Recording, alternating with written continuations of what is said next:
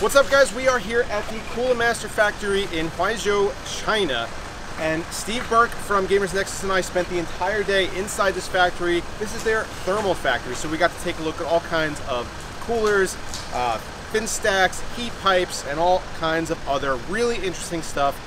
What we're gonna do is we're actually gonna do a sit down. We're gonna talk about what we saw inside. I'm gonna roll some B-roll over the footage so guys can see what we saw inside this factory and we're gonna discuss what we thought was interesting and what we did not expect to see in there. So let's check that right out after the intro.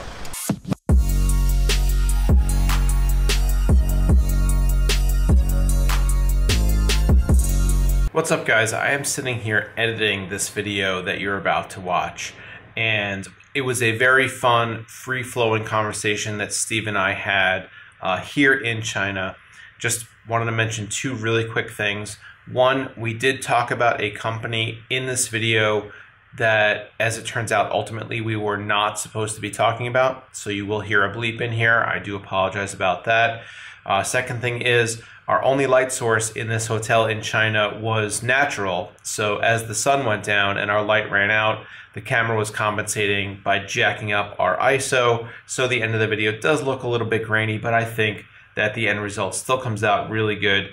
And I hope you guys enjoy this video and this discussion that I had with Steve. Uh, so let's get right into it.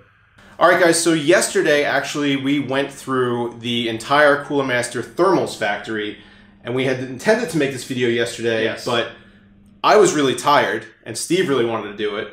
Yeah. And then today- I- Today, uh, our schedules just didn't really match up. So we're trying to shoot this tonight. Hopefully, we don't just completely blank on everything that we saw. I but- think we're good, although people are going to comment on the bed in the background. I mean, who's to say what's going to happen later? Just, you know, teach their own. Yeah, just just let it be.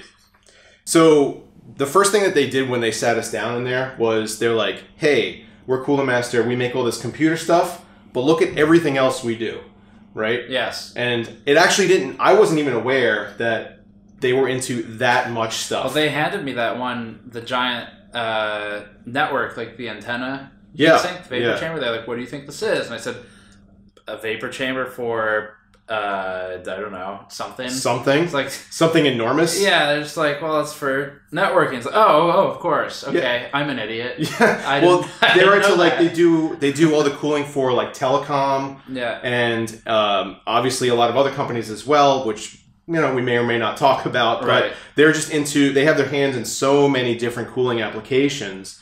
Um, Yes, Cooler Master, I had no idea was as massive as Cooler Master is. yeah, and we're kind of discovering that as we're Yes. going along. Um, but obviously, uh, I mean, I don't know how much of my audience is aware, but not only are they making their own coolers, but they do make like stock coolers for AMD, Intel. uh, Intel, and Yes. Um, and we did get to see a lot of that, although I'm not sure how much of that we're gonna we're gonna take a look at today. Although um, certainly show you guys the uh, the AMD stock coolers. Yeah. Um, but after we kind of got uh, introduced to what they were doing, what they're you know what they were into, and like their entire timeline, kind of they went through from Yeah. like 1992 on, uh, we went right over, uh, and they showed us how they validate equipment.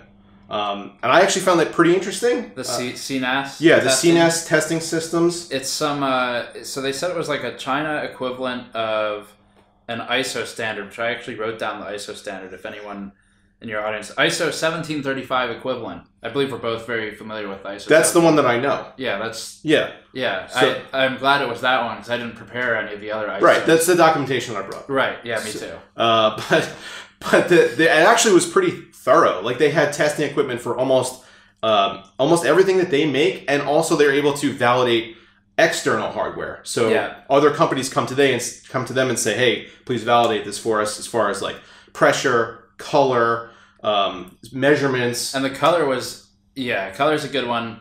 There are some companies in the industry that are uh, genuinely insane about how much how specific their color. has Some to be. companies are Some companies. right. Yeah, leather jackets are normally involved.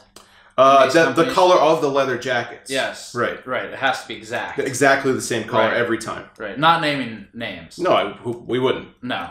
But some companies really want their color to be precise. Right. So Cooler Master can validate that. And that that whole lab, they weren't really using it when we were there, but uh, I have the exact investment, but it was uh, it was a lot of money that they invested six million dollars USD. They invested in building that lab. Well, they showed us like I, I don't remember exactly what it was. Some kind of colorimeter, like Yes. handheld colorimeter. Yeah. That was like ten thousand dollars. Yes. So, and they, they, I mean, they had all kinds of other machines, but they like crushed the fan for us, uh, Yeah. or almost crushed the fan for us. Um, but yeah, that whole section of Cooler Master obviously is involved in validating their own stuff and other people's stuff as well. So again, that's that's the bigger thing too is that it's all business to business. yeah, So you know, you kind of think like, oh, I'm gonna, I'm gonna buy from some other brand. Cooler Master is like maybe not in the front of your mind for cases or coolers. Cooler Master probably doesn't really care too much what an individual user buys because you're looking at B2B applications where businesses can come to them because other businesses don't want to invest six million dollars. yeah, in a lab. validation equipment, Right. right, yeah, and they have it all just right there. Yeah. Um, so yeah, they're obviously doing a lot of B two B work. Um, but then we kind of went through that facility. Uh, we saw things like the, the thermal chambers. Yeah, Um, we saw things like the salt, uh, salt exposure chambers, which was hysterical because Yeah. they looked very interesting. But the way we got to film it was it was. She opened it, and then you you started pointing your camera at it, and then she's like, slammed it closed. yeah, so, but it did look pretty interesting because a big plume of salty smoke came out of there. But that's how they test for like corrosion yeah. uh, and weathering and, and all that. Um, so, and I know that you have experience, like at least some experience with that uh, prior. Yeah. So, how does that compare to like what you've seen before? So I worked with um, thermal chambers a little bit at Dell and a little bit. So we, we had a building at Dell that had uh, thermal chambers that had shock and vibe chambers, which is a little different what, what Cooler Master showed us. And then also one of our contacts locally uh, is a, a botanist and has a thermal chamber that we work with for GN. Mhm. So the ones that Cooler Master has have a wider range, thermal range than I'm, I've been used to, and they're also uh, way bigger, which is important. So I think I wrote down the range too. But the I think I did too, actually. yeah, so minus 70 to 150 degrees Celsius for the climate controlled chambers. They also have thermal shock chambers Yeah. where in under five minutes it goes from minus 65 to 150 degrees Celsius. Right. And so that's really useful for like if they're testing a cooler, liquid cooler, and they want to see uh, will there be some kind of catastrophic failure like the liquid freezes and uh, sealant blows or something like that. Yeah, and then next to that, they had the one that kind of eight, that kind of goes up in steps instead of just blasting it Yeah. with 150 C. Right. It'll step it up until I assume failure. Yeah, either until failure or yeah, probably until failure. And then they had other ones that are just um, they didn't. I was surprised. So one thing I know from from my own experience has been thermal cycling is the best way to age something where you you cool it, you heat it, and you just repeat that process a lot. Yeah, they had they had that chamber too. It was uh they what they explained to us was it was like a 50x aging Yes. process. And for So- most of those, they keep them just at one temperature constantly, Right. which is uh, is is not how I've done it in the past. But I'm positive Cooler Master knows what they're doing. So it, Seems that way. it's just a different approach, I guess. Yeah, but those chambers, I mean, they had them all in one room and it were just kind of lined up next to each other, and you could kind of see, like, if a product comes in and needs to be validated in some way thermally, they probably have the facilities to be able to do that. Yeah, and a lot of this stuff too is not really for real world use. It's I, I think we addressed this in one of our videos where I was concerned that commenters would be like, okay, you're testing a case or an air cooler in a thermal chamber. When am I ever going to encounter that in the real world? Yeah. The idea is more of that it's it's useful for simulating things like aging quickly. So they're not going to test a liquid cooler for five years before they release it to see if it fails in five years. That seems Right. like the smart thing to do. Yes, yeah, you got to simulate it. So Right. that's what they do. Um, yes, that that area was was pretty interesting. Yeah, and then we moved from that over to um, an area that neither of us really have Yeah. that much experience with, but I actually found really interesting, which was like the light distribution machine. Um, I don't, I don't know that I wrote down the exact name of that. Oh, I did actually. I I the have. integrating sphere, Okay, yeah, uh, that big green sphere. right. So apparently, I'll quick note here too. yeah, Some of the names that I've written down are just from the names above the machine, and the the translations aren't necessarily perfect. So well, I have one written down for the machine that tests the vibration of the packaging. Yes. Um, and I, you may have the same name for that yes. that vibrating machine, yes, the vibrating machine. right? Yeah. Um, which was a source of comedy while we were on the tour. Right. Um, but, but No particular reason. No, none No. at all. Uh, but, so the integrating sphere, that big green sphere, Yeah. where they, um, I actually, I think we were both a little confused when we saw it at first, but they used it to test light sources instead Yes. of test consistency of like packaging colors or anything like that. So they're what they're doing in there is they're testing bulbs for RGB uh, uh, consistency across the spectrum. Yeah, I I'm still not 100% sure what they were doing with light test. I know nothing about light testing. That's what I. Neither do I. So, Uh, but it was I. it's we- cool though. It was cool to see, and then you got blasted in the face yes. by a giant light bulb Yeah. uh, in a dark room. How's it going, Brian? Oh, yeah. Seems to be going Doing pretty well? well. I'm doing okay. Okay, well, that's one of us. Yeah, yeah. So that it, there was like a laser involved. There and was a basically laser? Cooler Master was trying to kill me. They tried. Yeah. Uh, he's resilient though. Yeah, I so ducked. yeah, he's there. Well, you didn't duck it first That's true. because I shoved the camera in your face. Yeah. And- Yeah, Uh, I don't. I'm not 100 percent sure what that was. I know they test bulbs, Yes. and I know that the room's pitch black when they do it. yeah, I think that's it. I think um, so. It was testing intensity at certain steps, certain distances Yeah. from the source. So I think they could change the bulb that they're projecting with, and then test the intensity Right, along right. the line. But as far as like applications for that, I mm, not That- really that yeah. versed in that. That well, I know that Cooler Master is in. I don't know if I can say what percentage, but Cooler Master is in a majority of streetlights I, I yeah, I heard them. I heard we- yeah, we Yeah. talked about that yesterday. for both It's a lot, for both the cooling the cooling solution and actually bulbs too. right? Which I did not know Cooler Master was involved in bulb manufacturing Also involved in wine manufacturing, wine cooler Yes. manufacturing, and wine. and oh, Uh, they had their own in- the were little wine, the little things of wine, right? Yeah, were you in the room for that discussion? Yeah, I was in the room for that discussion. Yep, it Uh, sounds really good. no footage of that. uh, but uh, yeah, so we went through that whole like lighting section, um, and then we uh, we got to hang out in an acoustic chamber, which, um, in addition to being pretty impressive, was full of asbestos and uh, about hundred degrees Fahrenheit. Yeah, so the, it's pretty common practice uh, to use asbestos for for semi-anechoic or anechoic chambers. So before anyone freaks out, uh, that is It was fine. that is normal. it is contained.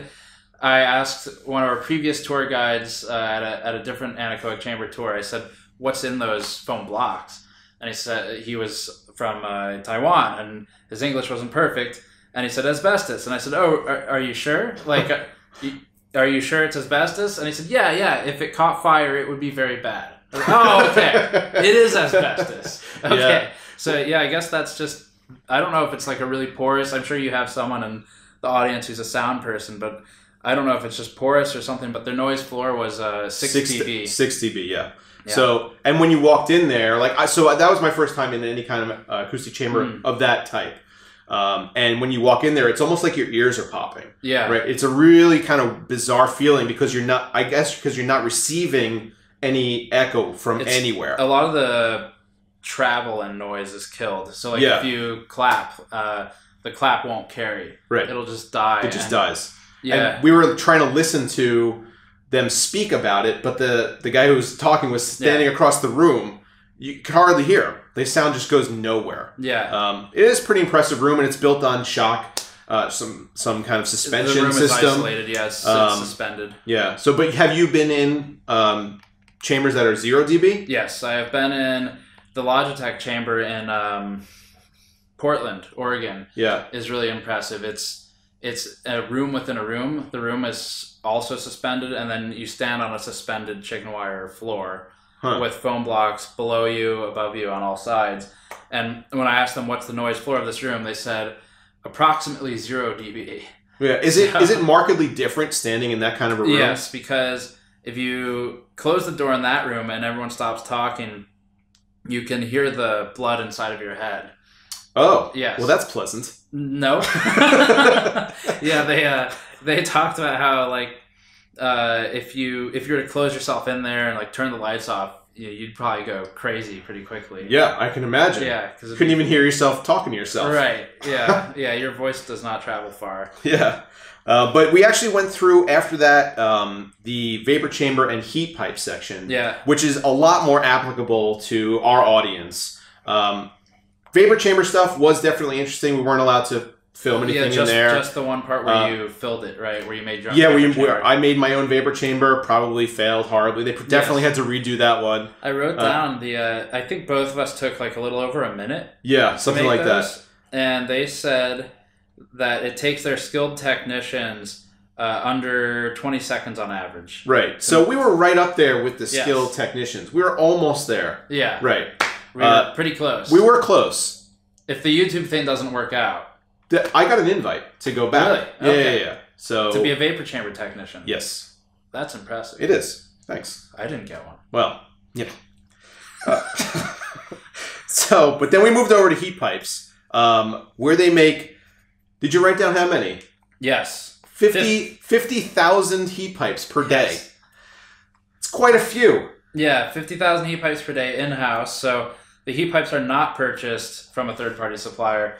Uh, a lot of the a lot of the time when you hear a company say we make this in house, it's it's complete BS. Yeah. They buy Or it. they're, or they're just putting their stamp on it and saying we made it. Right. Something like that. So this is they actually are just buying the copper material and then making the heat Fabricating the heat pipes. We saw the whole process, Mm. um, which I had never seen before. I don't know if you had. No, actually, Uh, I haven't. Yeah, so there's a couple different ways you can make a heat pipe. There's a powder coating in the inside or a mesh coating in the Yeah. inside. Both of us thought the mesh coating would be better for capillary action, but they insisted that the powder coating was So better. yeah, I thought I think I knew that sintered and a composite heat pipe is for sure the best, where it's sintered and mesh or or weave. Uh, what I what they were insisting is that gravity affects the performance of the heat pipe. Due to the mesh, right? Yeah, and Yeah. that's like maybe provable in a lab, but I'm not sure that I agree from a CPU cooler standpoint. Yeah. And and I guess to be clear as well, the guy who is answering these questions works in the manufacturing side of the heat pipe, so I, I don't know how much testing he does or anything. Sure. You got to trust him at some level. So in a, in a lab environment, I guess it's it's better. The sintered would be Well- better. Well, I mean, they said that the uh, the powder actually costs more to Yes. produce, so it wouldn't make sense if it didn't perform better to continue to produce it. Yeah, So- it, it definitely performs better. I just don't know that gravity matters a lot, Right. Because they're supposed to just work by capillary action, Right. But uh, I guess to be fair, if Cooler Master makes giant heat pipes, which they do for some of these companies, the bigger the heat pipe gets, gravity probably starts to matter more And- versus a CPU cooler. Yeah, there's and obviously there's going to be more water in the pipe, Yeah. uh, which I actually didn't know that it was just pure water. I thought it was some I, kind of. I thought it was like a propylene or ethylene mix, Yeah. glycol mix, but it's but actually they just said, water. yeah, they just said it was distilled water, um, and the amount that they put into a CPU cooler heat pipe Yeah. is minimal enough that you could turn it upside down and shake it and nothing, comes out. Yeah, it's drops. Yeah. Um, but they bake those for eight hours at 900 degrees Celsius. yeah. Um, so that's quite the process for making 50,000 of those a day. Yeah, and the the problem too is because it's a conductor, the temperature has to be that high because the copper pipe's sitting there conducting all of the heat in the oven. It's it's too efficient Yeah. to bake quickly. Yeah. Yeah. So it's definitely not a quick process, despite it coming out and just being just a, looks like a copper tube. Yeah. Uh, but we did get to to bend some of those ourselves. Yep. Um, I held up the production line. it was actually really frustrating. I'm sorry, Brian. Well, work on that. Okay. I maybe for our, our annual review For we can talk about ways I can improve. yeah, uh, yeah, it'll affect your I salary have moving forward. I have numbers on that too. It was um oh where is it? It was like I think it took us about You averaged about 20 seconds. I think so. I think Something I like that? averaged about twenty. Oh, that's right. Eight seconds for a skilled worker. Yeah, to, to- just blow through it. Yeah. And there were multiple steps to the process. It so they have machines that will do it for you. Yeah, we saw But those. They were right behind us. Yeah. And they're like, no, no, no, you bend by hand. Yeah. so we did, and uh, it was interesting. Yeah, if you get a cooler that's all screwed up, it might have a heat pipe from one of us in it. Yeah, that's Yeah. actually a, probably a good bet. So then one of the last things that we saw was that skiving machine. Yes. um, which again is not something that I had ever seen, but the the precision as uh, with which it was making the cold plates, push like cutting the copper, bending the fins up, was absurd. Yeah, and you can see like the water flowing over it too, Yeah, because they. I think the water's like most of those machines is mostly just for thermals because the machine gets hot. yeah, and this the friction of it cutting the metal it Yeah. needs some way to cool it down. But they said that that so. I forgot to write down the uh, the production of that, the rate of production, but Oh, it was I not have that. high. It's It not. was like thirty an hour or I something think like that's that. correct. I think it's thirty per hour, and they can do two to three. Right, I did remember that they put they could put two to three assemblies in that one skiving machine, Yes, and it is thirty. That is, that is what I wrote down. So Yeah. yeah, thirty per hour. and they had one of those machines. Yeah, So can- that's the bottleneck to making AIOs. If anybody ever wants to know why making yeah, something with a cold plate is expensive. prohibitively expensive, that might be exactly why. Yeah, yeah. So it's making the internal, the microfins of the liquid coolers, and we've taken a lot of those apart. And liquid coolers use mic. I, I guess I mean your audience knows. Yep. Use microfins just to increase surface area that the water's contacting with, and so Cooler Master can go down to a zero point five. No, to No, a, it was more than zero- it was, zero smaller than that. Yeah, it was. Uh, I don't remember the exact. I yeah, I should have taken more I have it. somewhere. copious notes. I suppose. Anyways, the density is very high, and yeah, the the one that they were demoing for us that they put under the microscope. Mm. you when you took it and you hold it in your hand, you I couldn't differentiate the fins. It looked like a block of copper, Yeah, like a like a yeah. fuzzy block of copper. yeah, yeah. Um, and that was I think that was the finest that they could produce, um, which was it was still pretty amazing. Yeah, the only uh, I think their main limitation was as as it gets increasingly smaller, there's impedance to liquid flow. Yes, So like at some point there's diminishing returns. right. It's almost like flowing over a solid block, yes. which which would obviously hinder Not your thermal- work. Yeah, Yeah. would not be preferable. right. Um, so and then you know they ran us quickly through like the assembly of the AMD stock coolers. And we made our own liquid coolers.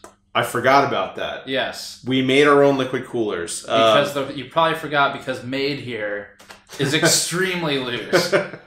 Well, I'm going to say that I made mine. Uh, You could say whatever you want.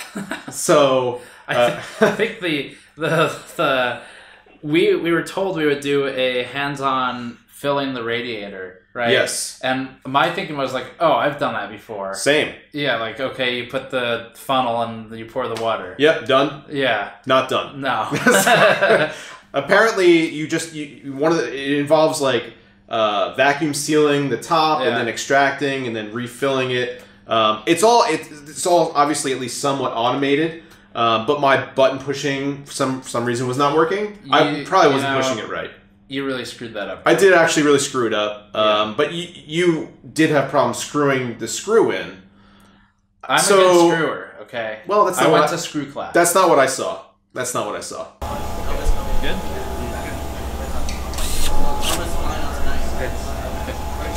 Steve, did you have trouble screwing? No, I'm pretty good at it. Oh, are you? Yeah. uh, That you ended up though, eventually yes. figuring out how to push the button. I did push the button eventually. I found the spot to push. You found the spot. yeah, yeah, okay. yeah. Took me a while. So it was the green button, right? Mm, you know, I don't even remember. I think it was the, the yeah the green button with. I'm not the- even going to comment on G-spot. that. Is that what it was called? Was Yes. it? Is that why there was G on it? Yeah. Uh, should have. Should have probably figured that one out. Uh, my well, now you know. My wife, that's why my wife always complains. Uh, so, but but I mean, that factory was certainly very interesting. Uh, we saw a lot of stuff that we probably didn't expect to see, yeah. um, and got you know obviously some good content out of it. What you're going to do on your channel is deep dive. Yeah. So we saw some stuff that we didn't necessarily touch on in this video, but you're going to deep dive into on your channel. So if you guys want to see more about the Cooler Master Thermals factory, make sure you check out Steve's channel, Gamers Nexus. Um, where how many two, three videos from that from that factory? we should have, I think, a total of probably like four to six relating to this tour. Okay, And great. it's going to go down to, I don't know how many people are going to watch this, but how screws are made. We did go through a screw factory. Yes. Yeah. Uh, so what- we'll see. I- it's gonna get like five thousand views, but whatever. It, it was it was pretty interesting. so there was the USB cable factory. There was the screw factory. yeah, we'll talk about the heat Um, pipes at, at detail as well. Yep. And you uh, the fan testing facility. Yeah, we have that one Right. too. So I mean that that obviously was interesting to see in person, and Steve's going to have a lot of information on that on his channel. So go check that out. But uh, hey, man, it was great. Thanks for sitting down with me. Absolutely. Um, and uh, get subscribed if you're not already, and check out Steve. And see you guys later. Hey everyone, this is Steve from GamersNexus.net, and today we are talking about Cooler Master and their factories. Brian's actually asleep right now. He's passed out in the corner, had too much wine. So I'm taking over the channel for today. How are your audio levels?